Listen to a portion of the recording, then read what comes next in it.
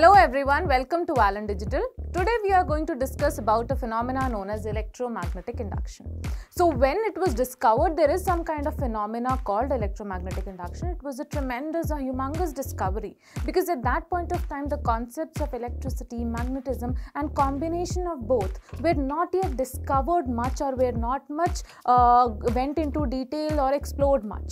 So at that point of time when we knew that there is something called electromagnetic induction there are many ways which are much more simpler and economical in order to produce electricity it became a huge hit amongst the scientists. So today we are going to study about the basic laws of this electromagnetic induction which was given by faraday known as faraday's laws of induction. So it is not just only faraday who gave these laws or it was not just faraday who discovered these things. Parallelly there were many other scientists also who were uh, continuously performing experiments in order to discover something which was relating your magnetism and electricity or something which was giving you more of a convenient way to produce electricity.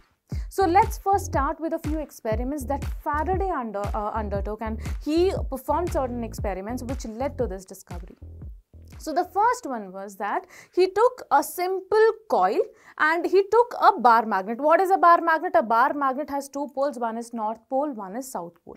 So what he did was he took a coil, a simple coil. This is a coil which is uh, formed of conducting wire or conducting material it is formed of. In this he just connected a small galvanometer.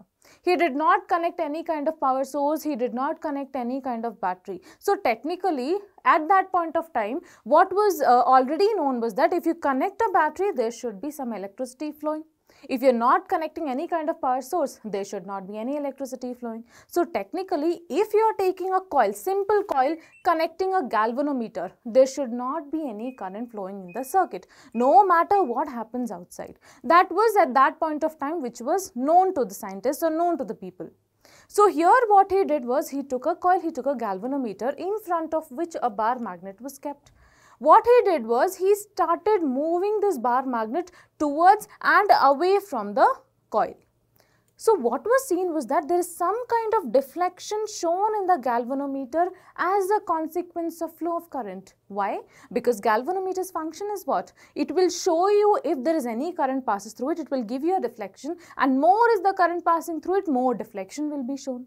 So two things were observed here in the first experiment. Whenever he was moving bar magnet towards or away from the coil, there was a deflection, first thing. Second thing, whenever he was changing the speed of this bar magnet, it was seen that the deflection was also varying.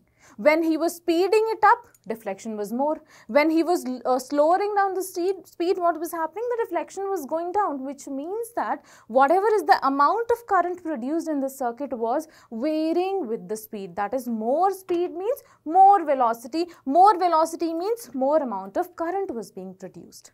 So this was just the first set of observation which was formed. So which indicates that there is some kind of current flowing in the circuit without any kind of power source.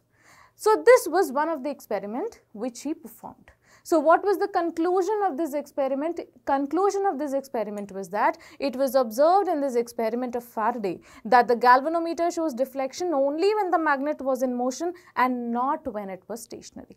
So at a point when he kept the bar magnet stationary, there was no current observed. But while speeding up and down, there were deflections in the current which was going up and down. Similarly, the deflection is small or large depending on the speed at which the motion takes place. So these were the two observations which were made in the first experiment. So what he thought was that there is some relation of current with the motion of the magnet. So it led him to go to the next experiment and he performed the second experiment. But in this case, instead of a magnet, he took two coils. Again here also the first coil, the primary coil here is again only connected to galvanometer. The second coil that he took was having a power source attached to it. So what he did was he switched on that circuit. After switching the circuit on, current is flowing in this circuit. Then he started moving this coil, this is known as the secondary coil, towards the primary coil and away from the primary coil. So again what was seen? It was seen that there is some kind of deflection shown in the galvanometer. It means there is some kind of current in the galvanometer. Similarly, here also he changed the speed or relative speed of the secondary coil with respect to primary coil. Again, it was seen that there is some kind of current, sometimes larger deflection, sometimes smaller deflection which again shows that there is some kind of relationship between the whatever is the aura whatever is the magnetism produced by it whatever is the speed of this body whatever is the speed of this power source and coil which is connected to it with respect to the primary coil so the conclusion that he got from here was that the degree to which the reflection takes place depends on the motion of the secondary coil towards the primary coil. The magnitude also depends on the speed in which it was moved. And then this shows that how the second case is analogous to the first. So the first and the second case almost were related. Why? Because in the first case, whatever was observed, same was observed here also. Whether it is related to the speed or it is related to the current or the reflection produced in the galvanometer. So he got an idea that next let's perform an experiment where I don't move the source coil itself. So in the third experiment that he performed, what he did was again he took two coils. But in this case, the second coil or we call it as a secondary coil again is connected to a power source but the only difference is now the secondary coil will not move. In fact, it is attached to a switch so that we can switch it on and switch it off. So let's see what was the observation. So initially when he switched on the circuit, there was current flowing. When the current was flowing, there was some kind of current which was observed. After a certain point of time, when the current became constant in the circuit. At that point, no current was again seen. Again, he switched off the circuit by pulling off the switch. Again, he was looking at the current. There was some current, there was some kind of deflection which was shown in the galvanometer. So, what he uh, concluded from here is whenever he was switching on and off the circuit, only for a fraction of seconds for some amount of time, there was increase or decrease of the current because of course, instantaneously your current will not go to the maximum value or will not come to 0. There would be some fractional amount of time which it is going to take to build to a maximum value or to come to 0. So, for that much amount of time current in the circuit was varying and only for that much amount of time the current was observed in the primary coil also. As soon as the current in the circuit becomes constant, no longer you could observe the current in the primary coil. So from here, what he understood was that in the first two cases, he was relating everything to speed. But when it came to third case, he understood that not just relative speed, it is depending upon some other thing. Basically, it depends upon the variability of current in the circuit. By variability of the current, what did he mean? He meant the variability in the, in the magnetic field lines which are passing through the primary coil. So what happened here, how he explained the things was that he told that it was observed that the relative motion is not necessary to produce the current. The button in the battery, when pushed, the galvanometer deflects. So relative speed was not a necessity to get an induced current or a current in the primary coil.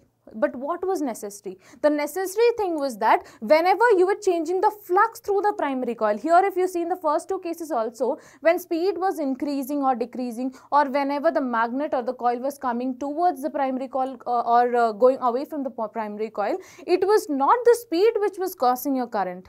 The quantity which was causing your current was the amount of field lines which was passing through your primary coil. Exactly is happening here also.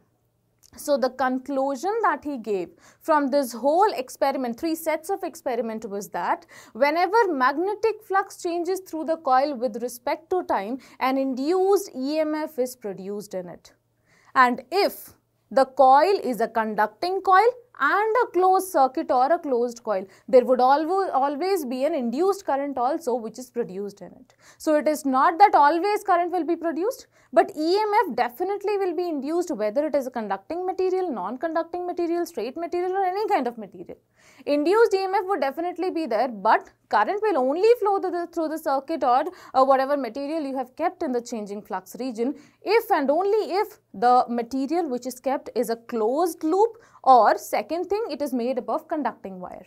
So this was the major observation of electromagnetic induction and this is nothing but electromagnetic induction that whenever you change magnetic flux through a closed loop, you will see that there is an induced EMF which is produced across the conductor and as a consequence of induced EMF, we know that wherever potential difference is there, we will also get EMF. Same happens here also. So that's what happened here. So what are the major ch challenges or major uh, factors which are basically going to govern the change in flux? We know that flux is nothing but what? Phi is equal to B A cos theta. So the first quantity which we can change in order to change flux is what? Nothing but your magnetic field. The next quantity that you can change in order to change your magnetic flux is what? Nothing but the area of the coil.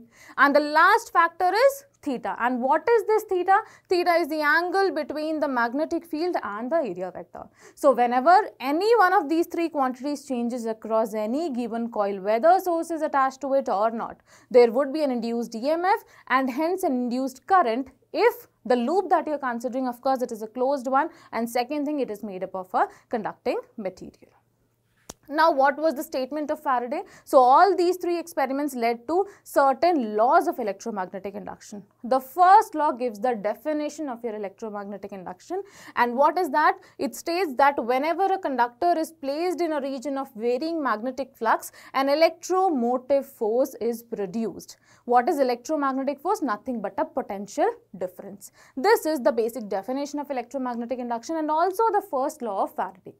Second law of Faraday, it basically gives the magnitude of the induced EMF which is produced. So, let us see what that is. So, what he told is, it states that the induced EMF in a coil is equal to the rate of change of flux. Why? Because whenever the speed was increasing, induced current was also increasing, which means that more induced EMF is getting produced whenever the flux is changing at a better rate. So, more is the rate of change of flux, more would be the induced EMF and hence more, more would be the induced current. So, mathematically I can write induced EMF's magnitude only. Please remember Faraday's second law gives only magnitude not the direction. Direction was given by another scientist that we'll come to. So, magnitude of E is directly proportional to d phi by dt. If you remove this proportionality sign, you will get a constant. Dimensionally, the value of the constant comes out to be 1. So, the magnitude of flux induced comes out to be d phi by dt. If you want to look at the unit of this uh, EMF, it is nothing but voltage itself. Next coming on to a few important points about electromagnetic induction. The first thing EMF is induced in any coil irrespective of the material. So whether it is a conducting material or a non-conducting material EMF will always be induced. But that is not the case with current. Current will only be induced if your material is made up of a conducting uh, material and always of course if it is a closed loop. So if you are having whether you are having a metal ring or you're having a wooden ring or if you're having a plastic ring. In all these cases, all these materials induced EMF can be formed. But when it comes to current, if a coil is conducting, then only current is induced in the coil. Last point about electromagnetic induction, just now we have seen EMF's magnitude is given by d phi divided by dt. So you can always apply it anywhere. Unit of EMF remains same as that of potential difference. That is nothing but your volt. So this was all about what is the basic definition of electromagnetic induction, what is the magnitude of EMF which is induced. The last part of electromagnetic induction is the direction of induced current. It was given by Lenz, by Lenz's law. So what is this Lenz's law? Let's look at. It gives you first of all the direction of induced current and what does it say? It says that the direction of induced current is always in such a way that it opposes the reason by which it is produced. And what is the reason by which it is produced? Change in flux. So whatever is the nature of your change in flux, it would be opposing it. So if you're writing the entire equation of EMF, an additional negative sign you'll get because it is changing the rate of change of flux, right? So you'll get an additional negative sign here that denotes the opposition to the change in flux. So in general, what happens in Lenz's law is see, whatever induced current is produced in any circuit, it is in such a way that the induced current will produce a magnetic field or a magnetic flux which opposes the change. Let's say there is a flux which is increasing through the coil. Then the induced current will try to reduce that flux by inducing a current in such a direction which produces a magnetic field or magnetic flux opposite to it. Second thing, if the flux through the coil is reducing external flux, then it cannot increase it because it is not having its own source. The only thing it can do is it can support that flux. So that's what happens even in Lenz's law right? So let's have a look at a few points about Lenz's law. The first and the major point is that Lenz's law is the consequence of conservation of energy. The consequence of conservation of energy, why we are saying it like this, that would be discussing in the coming lectures. But right now, the main important point about Lenz's law is that it follows the conservation law of energy. Now, based on the points that we have studied here, the few points we have already discussed, let's solve one or two examples. The first example, we are going to draw the direction of induced current in this case. So let's have a look.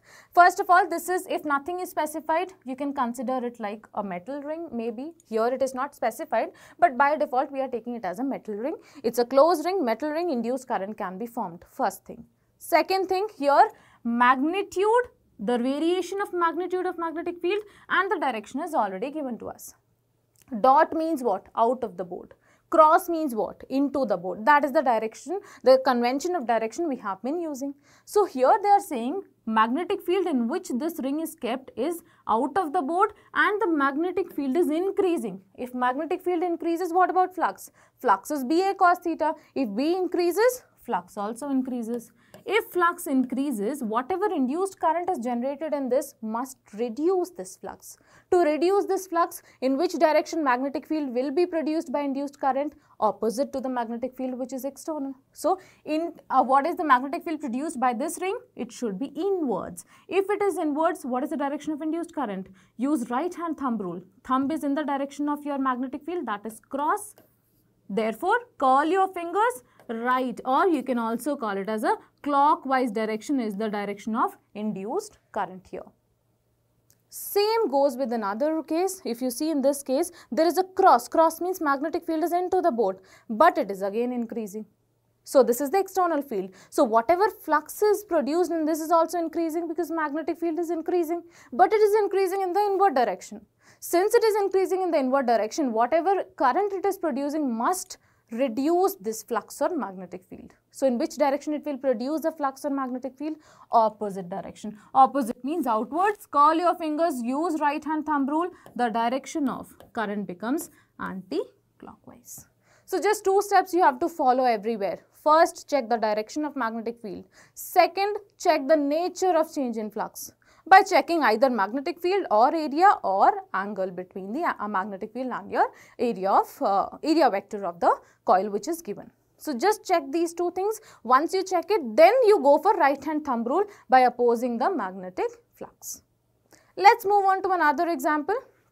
In the next example, if you see, again we are given with two coils. First coil we are taking here. Here also dot. Outward is the magnetic field, but the nature of magnetic field is reducing. So, flux also reduces. If flux reduces, it cannot increase it, right? It can only support it. So, induced current will produce a magnetic flux or field. In fact, here field in the direction of the same as that of the external field so that it supports it. It cannot increase it. So, it will support this one. In order to support, magnetic field must be produced in the same dot direction. Dot means outwards. Thumb outwards, curl your fingers. When you curl your fingers, in which direction current is going to go? Anti-clockwise direction. This is the direction of induced current in this case. The last case if you check, in this case into the board is magnetic field here but it is reducing. So again since it is reducing according to Lenz's law the induced current must support it.